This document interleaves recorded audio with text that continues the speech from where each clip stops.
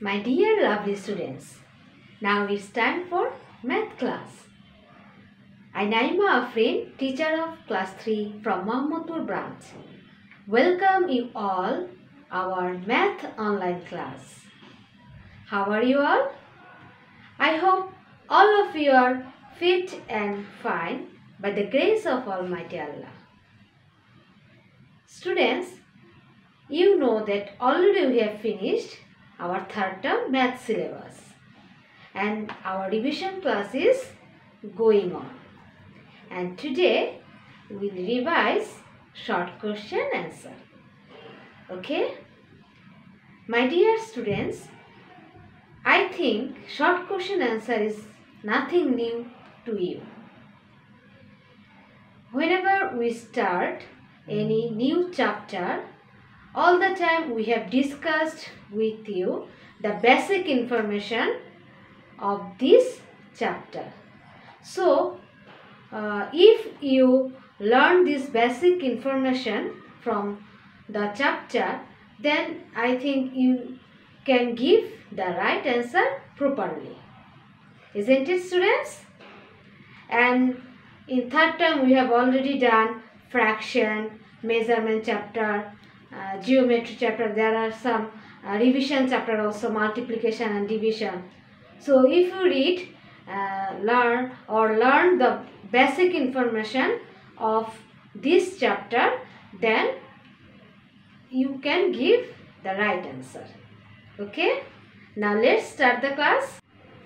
I will show you today some short question answer from the short question answer sheet. So everybody be attentive. Take out your CW copy, pen, book in front of you. Okay.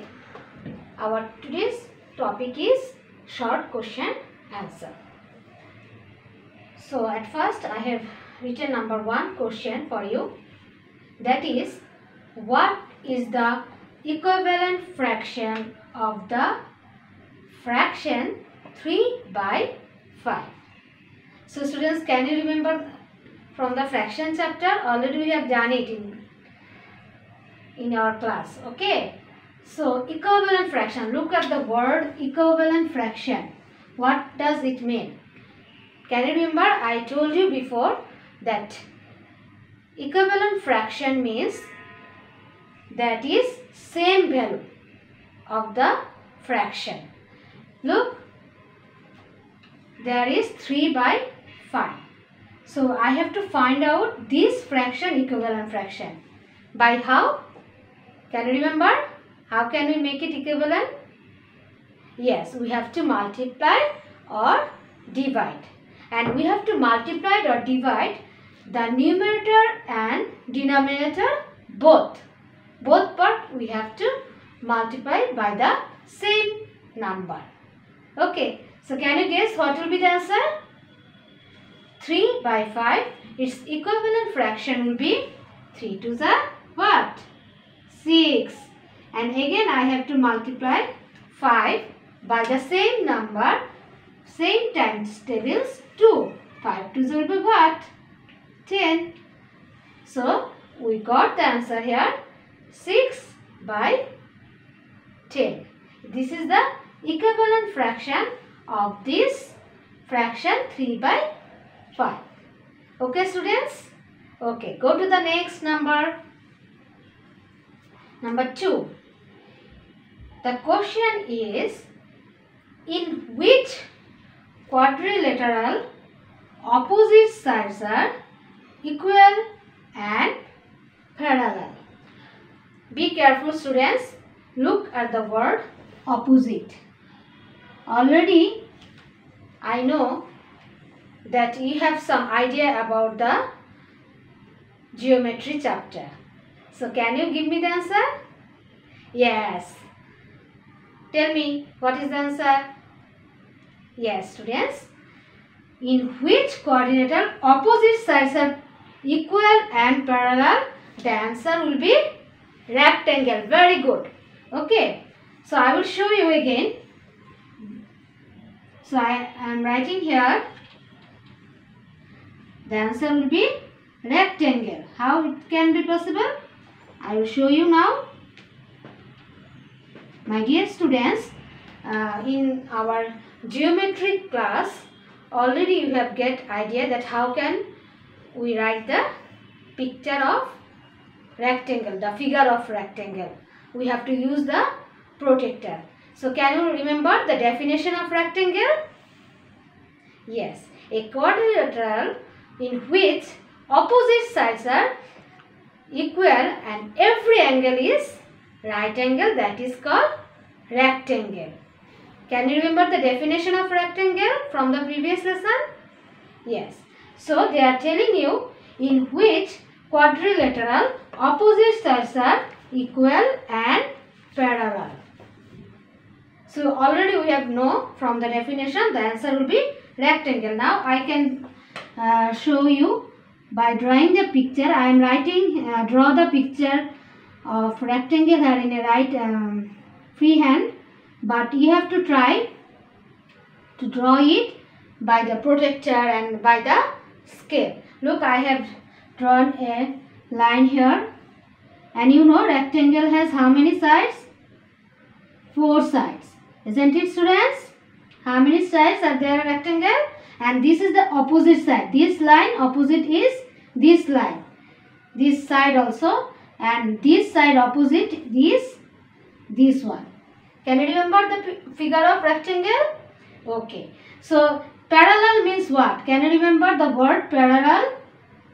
Parallel means whenever we have to draw the figure of rectangle then what we have to do? If I take it 10 inch then this parallel line and opposite side will be this one. So I have to take this one 10 inch also. And all the distance between these two lines will be equal. Then it is called parallel.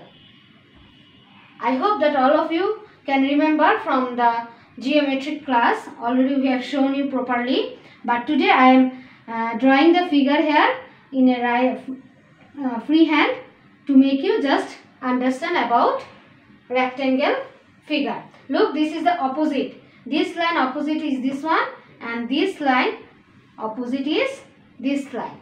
So, from the definition also we can remember that there are uh, which quadrilateral lateral has the equal sides and every angle will be right angle. Right angle, can you remember about the right angle? Right angle means every angle is 90 degree. Every angle is here is 4 angle and every angle is 90 degree. There are 4 angle and rectangle has 4 side and 4 angle. We have uh, already learned it from our geometry chapter. So i think that you have the idea about rectangle.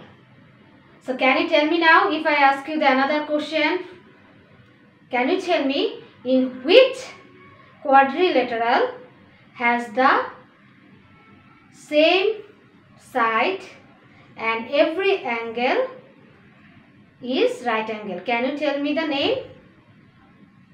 Yes, this quadrilateral name is square. You know the square has uh, equal side in every side. Okay. So, but opposite, whenever they are asking you about opposite sides are equal and parallel, then you have to write the answer rectangle. Rectangle. Okay. Now students, I am starting number 3. The question is, which unit you will use to measure the length of a door? Okay. So, can you tell the answer? It is from the measurement chapter and they are asking about the length and they are asking about the unit. So I hope that all of you can remember the unit of length measurement. The unit of length measurement is kilometer, meter, centimeter, millimeter. Okay. So we will not use here the kilometer because kilometer always use uh, to express the distance of the place okay and centimeter i can also cannot write because centimeter and millimeter we have to use for the small thing but they are asking you which unit you will use to measure the length of a door so the answer will be what? Meter. Isn't it students? Okay. The answer I have written here meter. Okay, now I am starting number 4. What is the numerator of fraction 7 by 80? So students, I think that already you have learned the parts of fraction and can you tell me what is the called the below number of fraction? Yes, the below number of fraction is called denominator. Very good. And the upper number of fraction is called numerator. And this line between the numerator and denominator is called fraction bar. So the question for you, what is the numerator of fraction? So easily you can understand now that the upper number 7 is our numerator. I have shown you here one question but you have to learn the definition what is called uh, denominator, what is called numerator and what is called fraction bar. These basic things we have to learn. Now go for the question number 5. What is the remainder 388 divided by 7? We have to find out the here remainder. Look student, they have given you the dividend, they have given you the divisor, but we don't know the quotient and remainder. So whenever we have to find out the remainder, obviously we will get the quotient also. Okay. Now for uh, this we have to show the rough to find out the answer. I am showing you here the rough. How can I find out the remainder? 7 is our divisor and 388 is our dividend here. So can you remember the process of uh, division? The step of division? At first we have to uh, compare the digit. From the left side we have to start and this is left side first digit is 3. So 3 is smaller than this divisor. So we cannot take one digit. We have to take two digits together. That is will be 38. Now read out times table of 7 where if there is 38 in 7 times table, read with me. Okay. 7 zeros are 0, 7 ones are 7, 7 twos are 14, 7 threes are 21. I can write here also for to make you understand. 7 ones are 7, 7 twos are 14, 7 threes are 21, 7 fours are 7 fours will be 28, 7 fives are 35, 7 six are what? 7 6 will be 42. So look students, which one will I will take? You know, if it will not match up, so we have to take the nearest number. So 38 nearest number will be 35. You cannot take 42. So I will write here 7 5s are 7 5s are 35. Okay. So now what we have to do in the next step? I can erase this rough work. Okay. 7 5 is 35. Now you have to do the subtraction. 8 minus 5 what will be there? 3. And 3 minus 3 there will be nothing. What we have to do now? We have to bring down this 8 here. So again it will be become 38. Now again what do I have to do? I have to read the 7 times table again and we know that 7 5s are 35. Okay. If I take 7 6 are 42 then it cannot be possible. Again what we have to do? We have to do the subtraction here. Look 8 minus 5 what will be there? 3. After doing the subtraction got 3 here and 3 minus 3 there will be nothing. So after doing the subtraction we got the remainder here 3. This is our remainder. You know the leftover number after doing the subtraction that is called reminder. So our answer we got here 3. 3 is our answer. So I am writing here answer 3. Okay students, have you understood? Okay students, now I am starting number 6. The question is if 1 hour equals to 60 minutes, how many minutes will be there in one day? So students, be attentive, look at the board I am telling that they are telling you 1 hour equals to 60 minutes. All of you, I think you know these things. That 1 hour means 60 minutes. So what we have to find out here? We have to find out how many minutes. How many minutes we have to find out in that question. And minutes it what? In one day. So all of you, you know that one day means how many hour? Yes, students, to find out the minutes, we have to know that one day means how many hour. One day is equal to 24 hours. And they are telling you 1 hour equal to 60 minutes. And now we have to find out that 24 hours, how many minutes will be there. So we have to find out here the more minute. And as we have to find out here the more minutes, what we have to do here? You know, whenever the uh, they are telling about the increased number, they are telling about the more number, we have to do here what? We have to do their addition. But if we do here the addition, it will uh, take more time and there is a another easiest way. By this way, we can easily find out the answer. Can you guess? Yes, that is multiplication. The multiplication is the method easiest than addition. But both of case we have to find out the more and increase number. So we can do here the multiplication to find out the answer. That is how many minutes will be there in one day. Okay. Students, so what do we have to do here?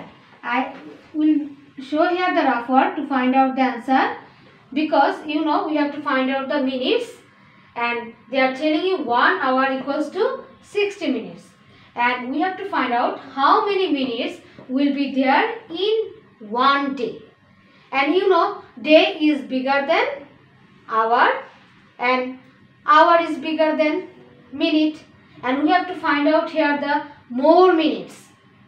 Okay? More minutes. And we know as we know that one day equal to 24 hours. So 24 hours easily we can understand there will be more minutes.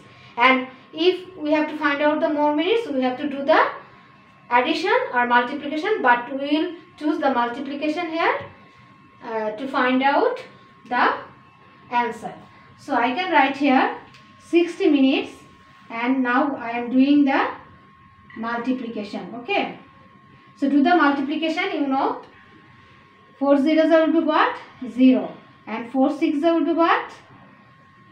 4 6 4 zeros are 0, 4 ones are 4, 4 twos are 8, 4 threes are what? 12, 4 fours are 16, 4 fives are 20 and 4 six are, yes students, you are right, 24. Now go to the next step.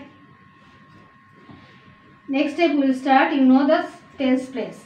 So 2 zeros will be 0 and 2 six will be what? 12, yes. Now we have to do the addition here. So it will be 0, 4. Here is be 2 plus 2 will be what? 4. And 1 will be there. So we got the answer 1440 minutes. Have you seen students? Okay.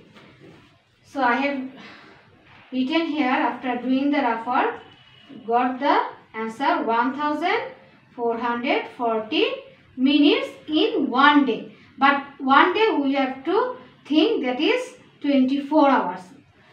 Okay. We have to apply the formula that one day means 24 hours. That's why I have uh, multiplication here by 24. Our 60 is our multiplicand, 24 is our multiplier here. Okay. So I am going to start the next. All of you look at the board. Number 7. What do you say 12 midnight to 11.59 noon? This is the question. So students, I know already you know the answer. Uh, you uh, usually we use this word in our daily life that 12 in the midnight we called it am 12 am and whenever it is before 12 noon we have to tell it am but whenever it cross um, 12 noon then we have to use the word pm but it is the short form of the word you have to know the large form that what do you say 12 midnight to 11.59 noon. So what will be the answer? We know the answer that is called anti-meridian. Okay. Anti-meridian. This anti-meridian short form is what? Already we know it AM. A is for anti and M is for meridian. So like this way we can easily understand PM means what? Can you remember? PM means PM is post meridian. Okay. So this is the number 7. I told that you have to know what do you say 12 midnight to 11.59 noon. That is called anti-meridian. And short form already we have used in our daily life all the time. But we have to know the large uh, word, large form of AM. AM means what? We have to learn this. Okay. Now I am starting question number 8. How many months are there in a 3 years? So students, what we have to find out here? We have to find out here months. So as we know that one year there are 12 months. So we have to find out here, here 3 years how many total months are there. So we have to find out more months. So what we have to do here? We have to do here the multiplication because they are asking you 3 years. Okay. 3 years how many months are there? So as we know that there one year 12 months so easily we can find out 3 years how many months are there by doing the multiplication we can find out the answer i am showing here the rough work look 3 twos will be what 6 and 3 ones are 3 so we got the answer 36 months 36 months is our answer in 3 years there are 36 months. Okay, students. Now look at the question number 9. How many arms are there in a quadrilateral? You know student what does quadrilateral mean? Okay, a shape that is enclosed by four straight lines that is called quadrilateral. And there are many types of quadrilateral like rectangle, square, parallelogram, okay so you know we have to find out here the arms. Arms means what? Arms means you know that a quadrilateral has four sides isn't it students? And side and arms is the same meaning so how many sides in a quadrilateral are there we know that there are four sides in a quadrilateral so there are answer will be what here? They are asking you how many arms are there in a quadrilateral. So we, as we know it, there are four sides. So it is the same meaning arms and quadrilateral. So I can write here four arms. Okay students. Now I am going to number 10. how many centimeter make a meter? How many centimeter make a meter? My dear students, can you remember some formula we have given in the class that uh, how many kilometer equal to meter and then how many meter like this way okay so how many centimeter make a meter you know meter is greater than centimeter okay so how many centimeter make a meter 1000 can you remember from the formula no students the answer will be what 100 centimeter make a meter. You have to learn the formula properly, okay? 100 centimeter. We need this formula whenever we will do the problem. Okay? So, without the formula, our answer will be wrong. So, our answer will be what? How many centimeter make a meter? 100 centimeter make 1 meter. A means 1 meter. Okay. So students, I think that all of you have understood properly about the short question answer. So I am writing the diary now. Okay.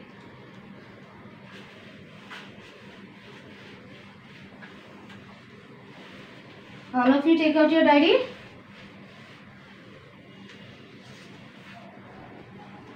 your diary is now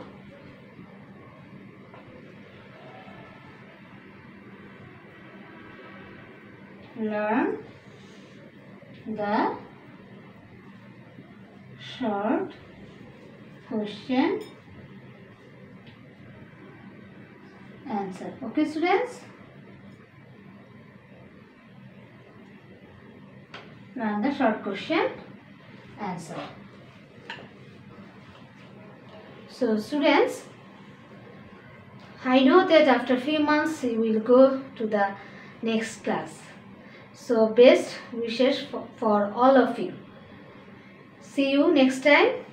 No more today. Bye bye.